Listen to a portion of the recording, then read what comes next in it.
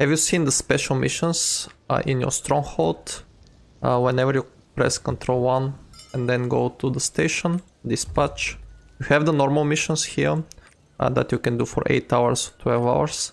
But then uh, there is also a section here, special mission on the top. And then you can do guardian raids, cubes. So basically uh, you let the game go for 12 hours and you have a chance to get some of those rewards.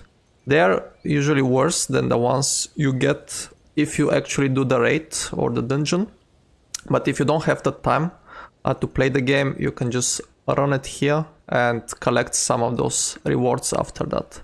So instead of letting your rest on raids uh, go forever, uh, you can just do this in two minutes and then come back on the next day and just collect whatever you got. Uh, just be careful. The, for example, the cubes, uh, they also consume your tickets uh, as well as small amount of pirate coins and then the ship needs to be repaired usually. Uh, but yeah, it might it could be useful for alts uh, if you have four or five of them and you want to get some rewards and you don't have the time. So that's all. Thanks.